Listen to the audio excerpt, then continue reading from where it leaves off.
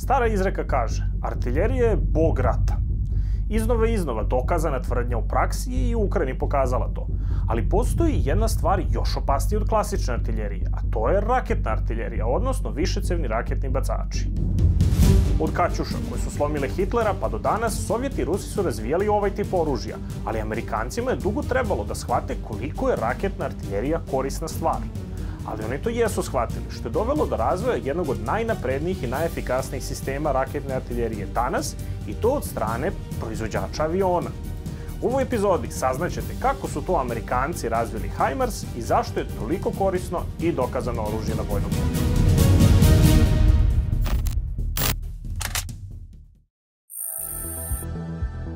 Rusi su dakle od uvek imali dobro razvijenu raketnu artiljeriju. Od Kaćuše pa do BN-21 Grad ideja je da se lansira mnogo raketa na protivnika koje neće biti precizne, ali će pogoditi veliku površinu. Možda neće napraviti štetu na jednoj meti kao precizna artiljerija, ali će oštetiti više ciljeva i potpuno demoralisati neprijatelja. Amerikanci pak imaju potpuno drugačiju ideju ratovanja. Znate onaj vic, kako možete da identifikujete sa kojom armijom se borite? Pucajte na njih. Ako vam uzvrate preciznom koordinisanom pešadijskom paljbom, Britanci su. Ako vam uzvrate mitraljezima i eksplozivima, Nemci su. A ako se ništa ne desi, a par minuta potom vaš položaj kompletno razori artiljerija, Amerikanci su.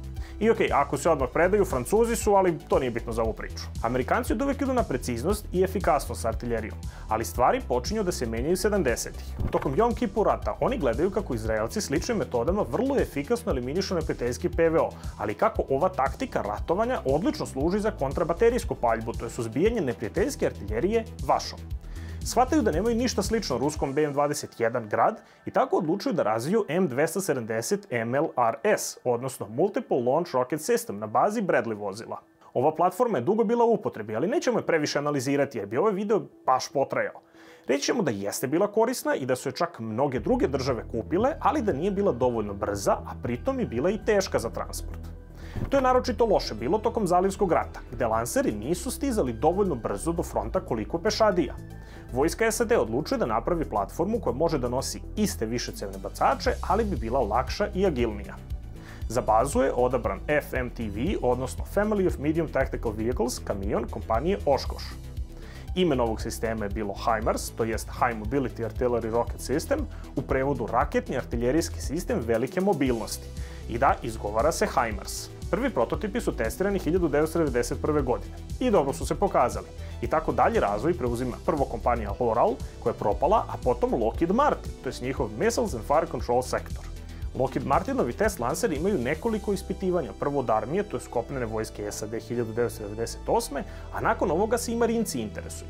Lockheed Martin je dobijao sve više i više naručbina, ali sistem u zvaničnu upotrebu ulazi tek 2010. godine ali onda doživljava neverovatnu slavu na bojnom polju. Dakle, HIMARS može nositi sve rakete kao i M270, ali kao što vidite, on nosi sa sobom jedan kontejner od šest raketa, a ne dva, i takođe ima točkove, a ne gusenice. Ovo ga čini jednostavnim za prenošenje i to je moguće u C17, C5 i naravno C130. To rešava glavni problem M270. Naravno, na točkovima HIMARS je dosta brži i to znači da svoje rakete može da ispali i brzo se povuče. Posada ima tri čoveka, vozača, topđu i kontrolora lansiranja, ali u teoriji za računarom dovoljan je jedan čovek da aktivira lansiranje. Takođe, treba mu samo 5 minuta da uz pomoć dizalice ubaci nove rakete. To će uvek biti sporiji od obične artiljerije, ali valja navesti da je opet brži od sličnih rešenja iz Rusije. Uz sve to, vozilo ne mora da se napušta tokom lansiranja jer je kabina izolovana i ima sobstvenu ventilaciju. To znači da dobro obučena posada može da puca, a zatim se pomeri pre nego što projektil pogodi cilj i na taj način neprijatelj uopšte ne može ni da im uzvrati. HIMARS može da ispali po principu mnogo toga, ali način na koji će se koristiti se dosta menja tokom godina. Kao što smo rekli, ideja je bila da se pogodi što veća površina i prvobitne rakete M26 sa svojom kasetnom municijom su upravo to i radile. S tim što nisu jednostavno bile dovoljno razorne, a dosta eksploziva ne bi ni detoniralo. Amerikanci su se odlučili vremenom da se ipak ne sviđa taj koncept i ponovno se vraćaju na precizne rakete. HIMARS može nositi 6 GMLRS raketa i to je ono s čime ga najviše viđamo u Ukrajini. GMLRS, odnosno Guided Multiple Rocket Launch System sa dometom otprilike 80 km, skoro duplo više od obične artiljerije.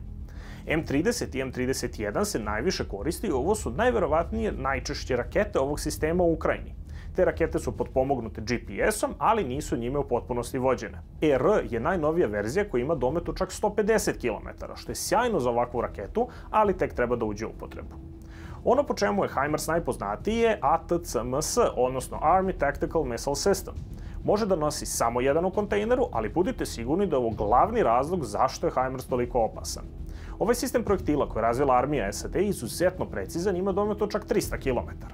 Bojeve glave mogu da se pune sa puno toga. Za početak, ako baš žele da koriste HIMARS onako kako je prvobitno zamišljeno, imaju M39 sa APAM municijom.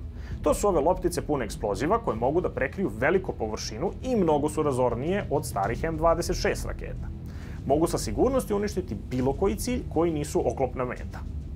Ali tu je onda i M48 sa VAU-23 bojevom glavom koja je zasnovana na protivbrodskim raketama koje koristi takođe američka mornarica. Samim tim ima veliku probojnu i razornu moć.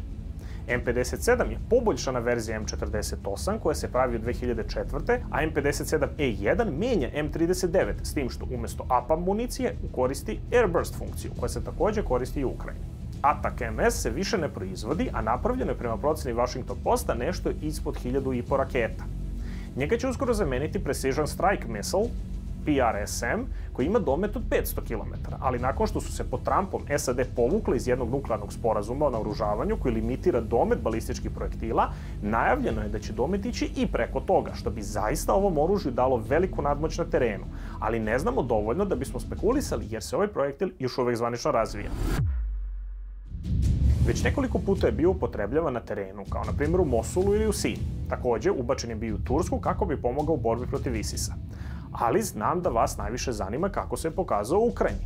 Amerikanci su inicijalno dostavili četiri sistema Ukrajincima i naoružali su ih samo sa GMLRS projektilima. Atak MS im nisu dali iz straha da će Ukrajinci gađati ciljeve unutar Rusije, što bi naravno moglo da dovede do toga da situacija još više eskalira. Ali svejedno i sa GMLRS Ukrajinci beleže velike uspehe. Prvo ih koriste da unište ciljeve u Izjumu, a ujedno i da gađaju mnoge stanice sa gorivom, municijom i da potpuno eliminišu manje komandne centre broj HIMARS sistema u Ukrajini se vremenom povećava na 16. HIMARS je realno usporio rusku ofanzivu i Rusi sami priznaju kako moraju da uzimaju HIMARS u obzir kada postavljaju trupe na teren. Međutim, naravno, ovde nije kraj priče. Pre nekoliko meseci Amerikanci konačno šalju i atak MS projektile u Ukrajini. Verovatno ne mnogo, s obzirom da samo hiljadu i po postoji, ali dovoljno da su Ukrajinci uspeli da ih upotrebe na aerodromima u Berdjansku i Lugansku i unište im gomilu helikoptera. Ukrajina treba da dobije još Hajmarsa, ako već nije. Ali pitanje je koliko će im projektila SAD poslati. Tako da ostaje i drugo pitanje, a to je koliko će moći da dejstvuju po protivniku na ovaj način. E sad, da li ovaj sistem nezaustavljiv i savršen? Apsolutno nije.